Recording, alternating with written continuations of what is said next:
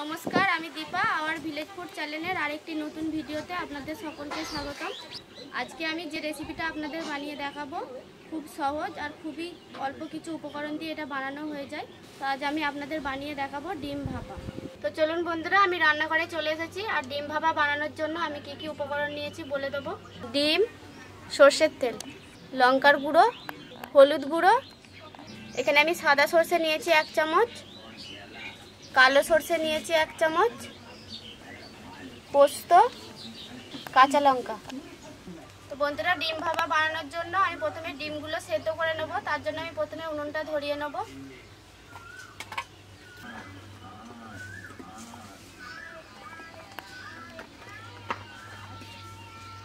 উনুন ধরিয়ে কড়া বসিয়ে দিয়েছি, এবার ডিমগুলো সেদ্ধ করার জন্য কড়াতে জল দিয়ে দেবো।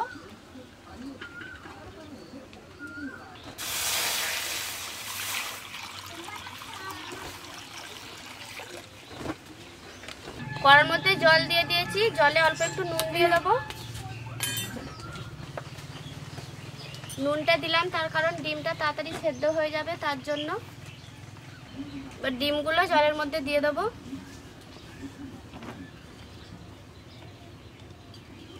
আমি এখানে ডিম ভাপা বানানোর জন্য ছটা ডিম নিয়েছি, আপনারা কম বেশি করে নিতে পারেন। বন্ধুরা, ডিমটা ওদিকে সেদ্ধ হতে থাক, ততক্ষণে আমি সর্ষে, পোস্ত আর কাঁচা লঙ্কাটা বেটে নেব। বাটার জন্য নিয়ে নেব কালো সর্ষে। সাদা সর্ষে।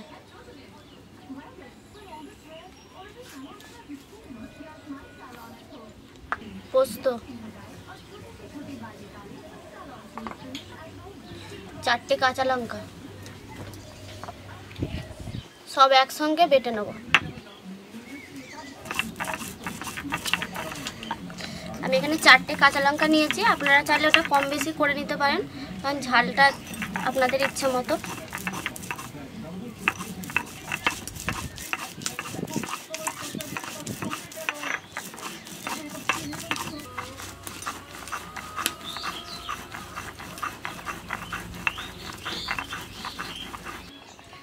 আমার মশলাটা বাটা হয়ে গেছে। এবার আমি এটা তুলে নেব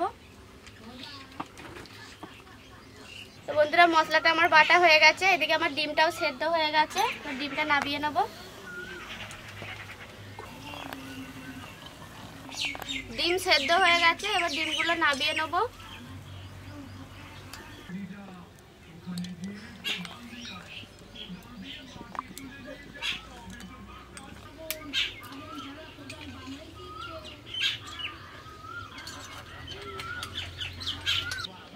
বন্ধুরা, ডিমগুলো ঠান্ডা জলের মধ্যে দিয়ে দিয়েছি। ডিমগুলো একটু ঠান্ডা হয়ে গেছে, এবার ডিমগুলো ছাড়িয়ে নেব।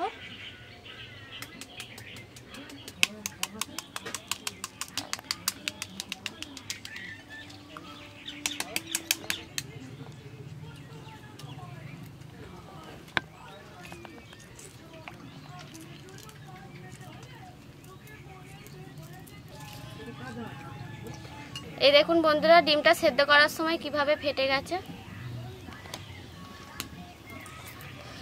এই দেখুন বন্ধুরা, সব ডিম আমার ছাড়ানো হয়ে গেছে। এবার আমি ডিম ভাপার জন্য মশলাটা রেডি করে নেব।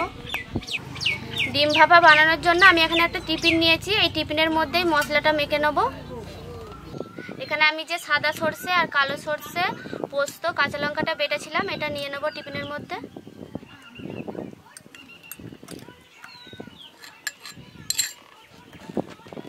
লঙ্কার গুঁড়ো নিয়েছি এক চামচ, এটাও দিয়ে দেবো তো দিয়ে দেবো হলুদ গুঁড়ো, হাফ চামচ। নুন দিয়ে দেবো স্বাদ মতো। সর্ষের তেল দিয়ে দেবো দু চামচ মতো। মশলা বাটার পর শিল ধোয়া যে জলটা ছিল, এটাও দিয়ে দেবো।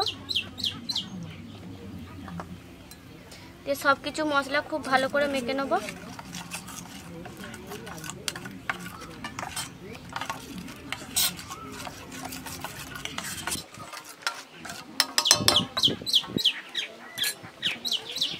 এই দেখুন, মশলাটা খুব ভালো করে মেখে নিয়েছি। এবার এর মধ্যে সেদ্ধ করে রাখা ডিমগুলো দিয়ে দেবো। ডিমগুলো এবার মশলাতে দিয়ে দেবো। দিয়ে দেওয়ার আগে এখানে আমি একটা কাটা চামচ নিয়েছি। এই চামচে করে ডিমের গাগুলো এভাবে একটু একটু ফুটো করে দেবো। তাহলে মশলাটা খুব ভালো করে ডিমের ভেতর ঢুকবে আর খেতে ভালো লাগবে।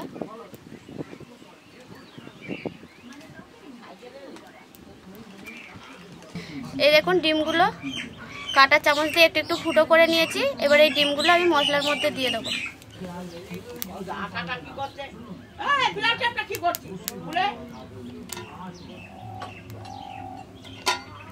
এবার আমি এইভাবে চামচে করে একটু একটু মশলা নিয়ে ডিমের গায়ে এইভাবে লাগিয়ে দেবো।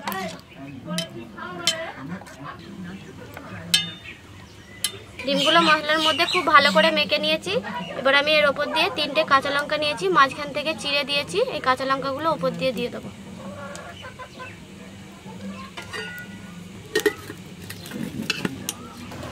কড়ার মধ্যে আমি আগে থেকেই জল দিয়ে রেখেছিলাম। জলটা ফুটতে শুরু করেছে। এবার আমি এই টিফিনটা কড়ার মধ্যে বসিয়ে দেবো। এই টিফিনটা গরম জলের ওপর এইভাবে বসিয়ে 10 থেকে পনেরো মিনিট আমি এটা ঢাকা দিয়ে জাল দিতে থাকব। তো বন্ধুরা, এটা 10 থেকে পনেরো মিনিট ফুটিয়ে নিয়েছি, এবার আমি এটা জলের থেকে তুলে নেব।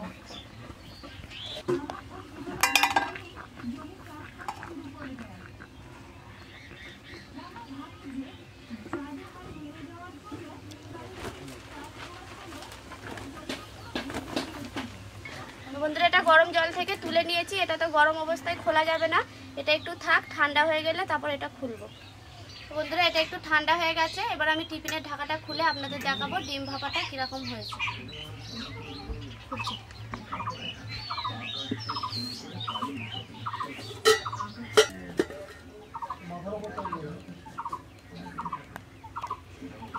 এই দেখুন বন্ধুরা, ডিম ভাপাটা দেখতে কত সুন্দর হয়েছে। দেখলেই খেতে ইচ্ছে করবে। বন্ধুরা দেখলেন, আমি কত সহজভাবেই আপনাদের ডিম ভাপা করে দেখালাম। আপনারাও অবশ্যই বাড়িতে বানাবেন।